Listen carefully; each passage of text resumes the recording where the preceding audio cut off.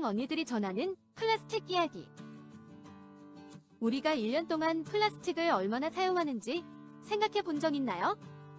국가별 1인당 연간 플라스틱 사용량에 따르면 우리나라는 132.7kg으로 3위를 기록하여 큰 충격을 주었습니다. 특히 플라스틱은 탄소와 수소로 이루어진 부분자로 쉽게 쪼개지지 않아 분해하기 어렵기 때문에 전 세계의 해양 쓰레기 중 약 80%를 차지하고 있습니다. 또한 소각되는 플라스틱 쓰레기는 주변의 산소와 결합하지 못하고 그 속에 일부 존재하던 염소 성분과 함께 타게 되어 다이옥신이라는 1급 발암물질이 만들어지게 됩니다. 다이옥신 성분은 한 번 생성되면 잘 분해되지 않고 암과 기형을 유발하며 우리의 몸에 치명적인 피해를 입힙니다.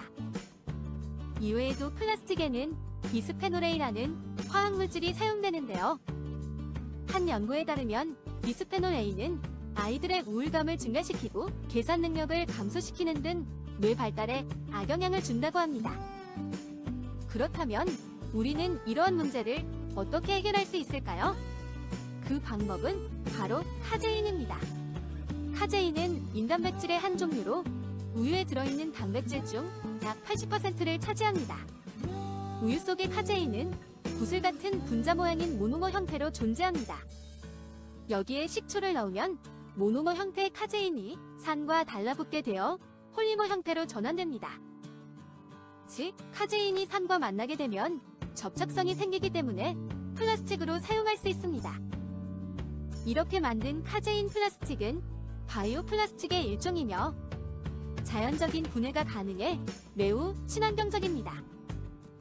집에서도 간단한 방법으로 카제인 플라스틱을 만들 수 있는데요. 함께 만들어 볼까요? 준비물로 우유, 식초, 냄비, 스타킹이 필요합니다.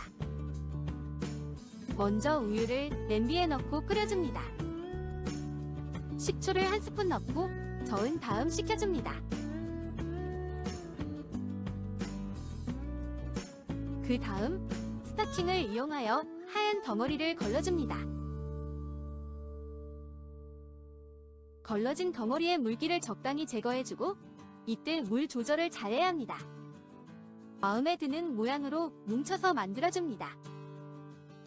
마지막으로 바람이 잘 통하는 곳에서 말려주면 원하는 플라스틱 모형을 만들 수 있습니다. 이러한 성분의 성과 바이오 플라스틱을 배추 플라스틱으로 상용화하는 데큰 역할을 하고 있는 것 바로 화학입니다. 오늘 소개해준 플라스틱 이야기가 도움이 되었나요? 지금까지 대학생 언니들의 유익한 화학 이야기였습니다.